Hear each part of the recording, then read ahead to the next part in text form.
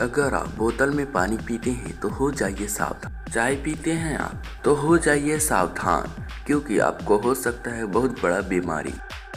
तो दोस्तों, इस वीडियो के अंदर आप शरीर से रिलेटेड कुछ ऐसे खतरनाक और हैरान कर देने वाले रोचक बातें जानने वाले हो, जिन्हें शायद आपने पहले कभी नहीं सुना है। अमेजिंग फैक्ट्स तो दोस्तों, वीडियो को पूरा देखते रहिए और चैनल पे नए हैं तो सब्सक्राइब कर लीजिए।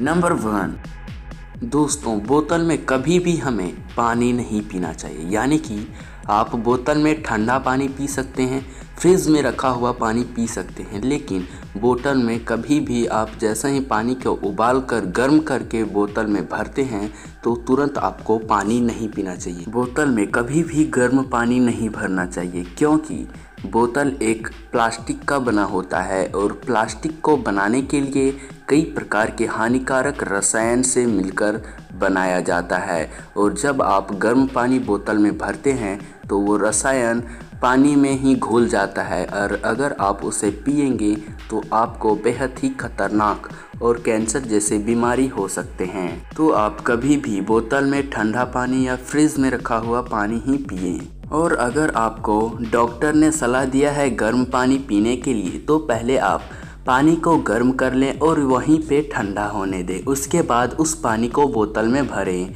उसके बाद ही पिएँ।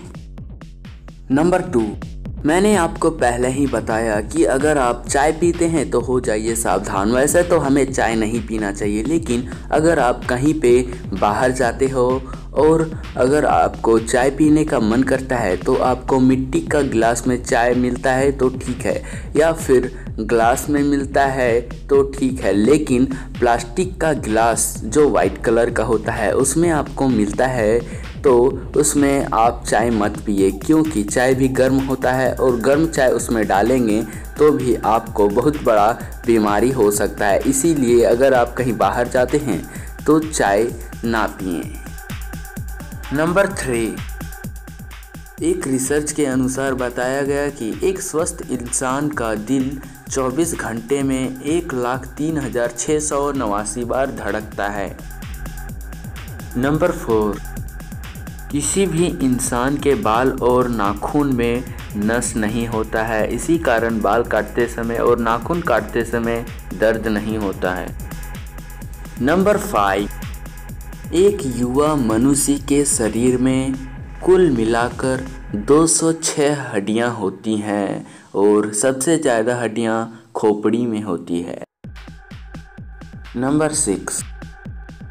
जब हमारे आँखों में मोतियाबिंद नामक बीमारी होता है तो उसमें मांस अधिक हो जाता है आँखों में तो उसे सबसे पहले एक ब्लेड के द्वारा यानी किसी औज़ार से काट दिया जाता है ऊपर और फिर एक पाइप लगाकर वो मशीन होता है, उससे खींच लिया जाता है।